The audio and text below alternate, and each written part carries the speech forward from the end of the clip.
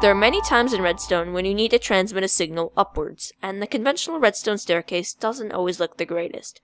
So I've come up with what I am calling the redstone pillar, and this allows you to use this lever down here to turn on and off this lamp right here.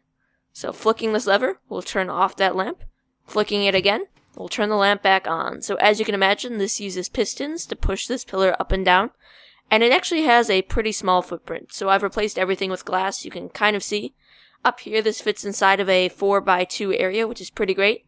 And down at the bottom, it fits inside of a 1 by 2 area, which is also great. So how it works is when you flick this lever, this pushes this pillar upwards, and this redstone block up here activates this redstone, turning off this torch and activating this hopper timer. And this repeatedly turns on this redstone right here, which can't actually power this piston, because this one is still extended. But once you retract the piston down there, this piston can extend and reset.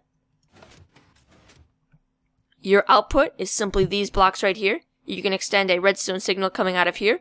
So when you flick this lever down here, the redstone up here will turn on. This is actually pretty easy to build.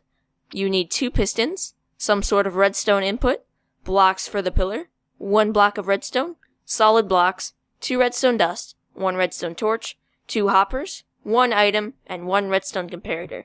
So get all of those items, and first you're going to want to place down your piston. So you need to go down to the bottom, place your piston facing upwards right here, and then you need to place down your redstone input. So I'm going to be using a lever. And then you need to place down your pillar. So pillar up. Keep in mind that pistons can only push a maximum of 15 blocks, so make sure your pillar is no longer than 15 blocks. Place in a block of redstone right here, redstone dust right here, a solid block right here, torch on top. Then you need to make a hopper timer, so make two hoppers going into each other. Place one item in. Place a solid block right here, a redstone comparator right here, a block right here, and a block right here, redstone dust right here, and finally, you need to place a piston facing downwards right here.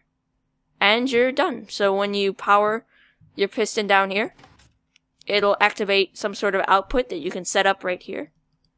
And when you turn it off, the output turns off. Thank you so much for watching. I think this is a very flexible design that can be used in many different redstone inventions, and I think it looks pretty cool too. So I hope you were able to understand everything that I said or did in this video.